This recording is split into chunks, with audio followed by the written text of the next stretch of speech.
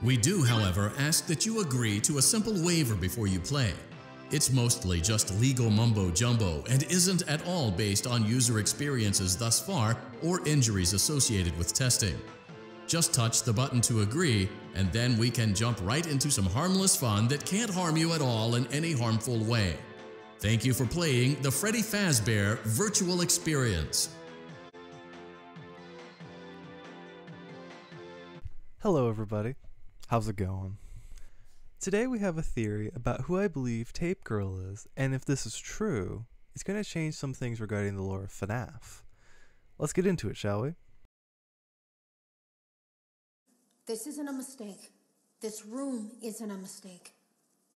First, we're going to start with Tape Girl's background. Tape Girl was a member of the dev team once responsible for developing the VR game, the Freddy Fazbear Virtual Experience, or as we call it, Help Wanted we learn that Tape Girl has created 16 tapes containing her recorded logs about events that unfolded during her time working on the VR game. Also, in these tapes, we get details about Glitchtrap and how Tape Girl tried to put a stop to him. A big question regarding Tape Girl, however, is tape 16. In this tape, she seems different, colder maybe, and for some reason she contradicts what she told us about Glitchtrap in previous tapes from not being able to destroy him to now being able to destroy him. And? Well, that's it. Well, I mean, that's it for the clear cut stuff anyway.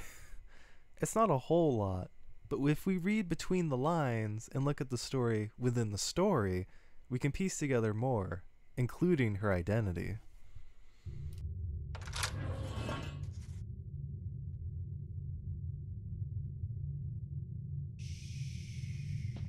As mentioned earlier, Tape Girl is a member of the dev team responsible for developing the VR game, and we know this because of Tape 3. I think it's made worse by the fact that Jeremy tried to tell us something was wrong. But as a dev team, we all just saw it as a challenge to find what the problem was and fix it. She says we as a dev team, thus including herself. So, what was her job in the team? Well, it seems that she was a QA tester, because if we look at page 140 of the FNAF Ultimate Guidebook, it says many theories have popped up around the girl who made the secret tapes scattered throughout Help Wanted. The tapes seem to confirm that Tape Girl was a QA tester from the original game development team. As Tape Girl is in charge of testing the game after Jeremy, this does make sense. Also, for the credits of Help Wanted, Tape Girl is actually called QA, so that's also a point in the QA direction.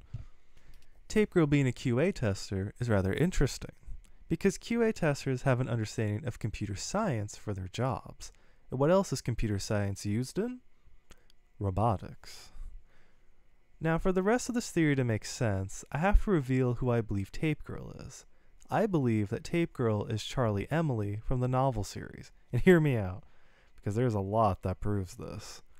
In robotics, computer science is used in the programming of robots, and in the Twisted Ones graphic novel, we see that Charlie is studying robotics in college, and that she has already invented two robot heads that talk to each other. This is what Charlie says about her creations. I'm not exactly programming them to do anything. I'm helping them to learn on their own. Notice how she says that she's not programming them to do anything, but she still did program them to learn on their own proving that she has some knowledge of computer science. I believe that Charlie brought this knowledge over and implemented it into game development. And we can't ignore Tape Girl's similarities to Henry Emily from Pizzeria Simulator, as both use cassette tapes to record their messages. Henry is Charlie's father, making this connection make sense, as Charlie was given life by Henry's emotions. This would explain why Tape Girl chooses tapes over CDs, even though tapes should definitely have faded out of use by the time of Help Wanted. And in the Silver Eyes novel, we learn that Charlie chooses to keep her music on tapes instead of CDs, even though the series takes place around 1995 when CDs were commonplace, further explaining why Tape Girl would choose tapes over CDs. Both Tape Girl and Henry match in the way they speak, as both talk pretty long on their recordings, and in tape 14, Tape Girl says a line that's similar to Henry's during his audio log in the Insanity ending. But hopefully, it also means that this anomaly, this virus, or whatever it is. It's only now that I understand the depth of the depravity of this creature, this monster that I unwillingly helped to create. Now for the final piece of evidence. We're going to have to look towards the Fazbear Fright story, Prankster. This story has references to the events that Tape Girl talks about in her logs, like Jeremy's face removal. Also, Prankster is one of two Fazbear Fright stories that Glitchtrap appears in, making this story have a strong connection to Help Wanted. The story of Prankster in a nutshell is about three characters Jeremiah, Hope, and Parker as they work for a failing company that gets bought out by Fazbear Entertainment and then are entrusted with developing a VR game for Fazbear Entertainment. I believe that the three characters in this story represent John, Charlie, and Carlton from the novel series, and here's why. Starting with Hope, she's described as a natural beauty with shoulder length hair and wide set, brown, doe like eyes, which matches up with Charlie's appearance, how she doesn't wear much, if any, makeup, has shoulder length hair and the twisted ones, and has brown, wide eyes. Also, when Jeremiah became a victim of a prank, Hope was seen giggling with her hand over her mouth. We actually see Charlie laughing like this twice in the graphic novel version of The Silver Eyes. Next is Jeremiah. Jeremiah is in love with Hope. This matches up with John and how he was in love with Charlie for a long time, as John tried to kiss Charlie when they were just six. Also, there is a scene where Jeremiah falls asleep on his couch while watching a late night talk show, then proceeds to dream about him and Hope on a date until he wakes up to his alarm with pain in his neck from sleeping on the couch in an awkward position.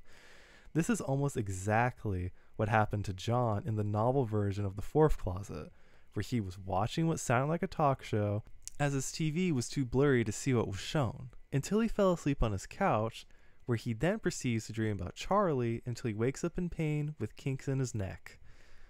I also should add that in Jeremiah's dream, Hope was wearing a rose colored dress with a scoop neck that showed off her collarbones. This description is similar to what Circus Baby wore when she was pretending to be Charlie. And finally, Parker is a dedicated prankster, pranking Jeremiah multiple times.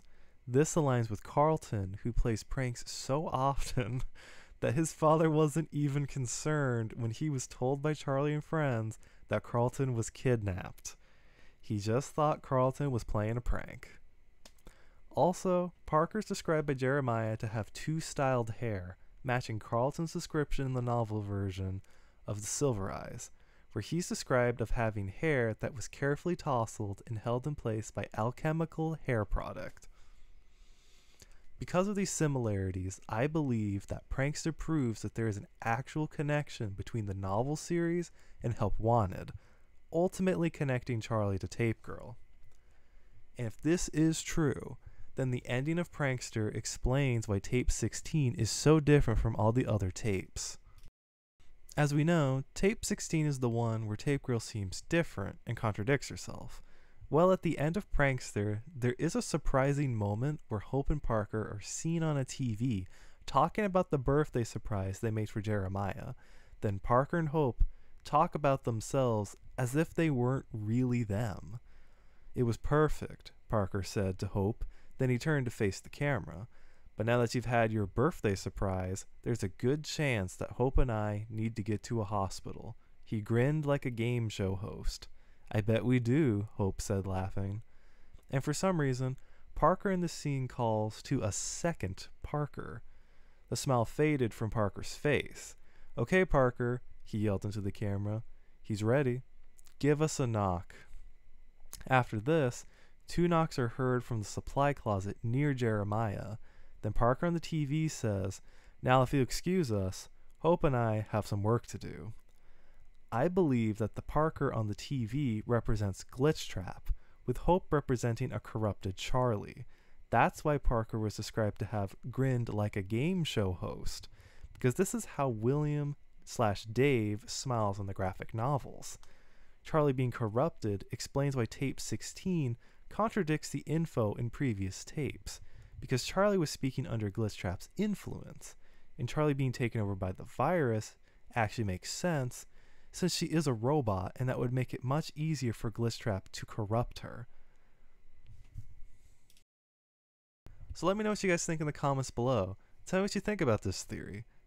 Does it hold true? Do you believe it? Or if you don't, why? I'm really curious to see what you guys think.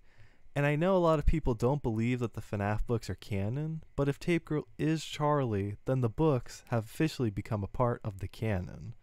So, like I said, let me know what you guys think. And as always, I hope you all have a lovely day. Until next time, peace. Weaving through you. Then use the disconnect switch that I've embedded by the main stage. Let it approach you. Let it begin to merge with you. Play the music and flip the switch. That will cause a hard restart of the game and flush the memory, effectively killing it. I hope. I don't know when it will come for you.